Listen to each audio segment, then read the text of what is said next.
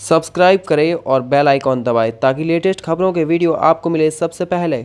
नमस्कार दोस्तों, आप सभी का स्वागत है हमारे चैनल में। मानसून सीज़न 2019 में पहली बार बंगाल की खाड़ी में डिप्रेशन बना है, जिससे अगले 48 घंटों में डीप डिप्रेशन बनने की निन्यानवे प्रतिशत संभावना है और ये पश्चिमी दिशा में आगे बढ़ेगा, जिससे ये उड़ीसा, छत्तीसगढ़, झारखंड, पश्चिम बंगाल, आंध्र प्रदेश, महाराष्ट्र के उत्तरी भागों से मध्य प्रदेश, पूर्वी व दक्षिणी पश्चिमी राजस्थान और पूर्वी उत्तरी गुजरात को प्रभावित करेगा। इस दौरान ये मध्य प्रदेश, गुजरात, राजस्थान के भागों को ज़्यादा प्रभावित करेगा यह डिप्रेशन सिस्टम। राजस्थान के कोटा संभाग, भीलवाड़ा, राजसमंद, चित्तौड़गढ़, उदयपुर, पाली, जालोर, बाड़मेर के ऊपर से होकर गुजरेगा। इन तीनों राज्यों के कई क्षेत्रों में बाढ़ आने की भी संभावना है। यहाँ बाढ़ जैसे हालात बन सकते हैं। आठ से ग्यारह अगस्त के दौरान तेज हवाओं के साथ भारी बारिश होगी।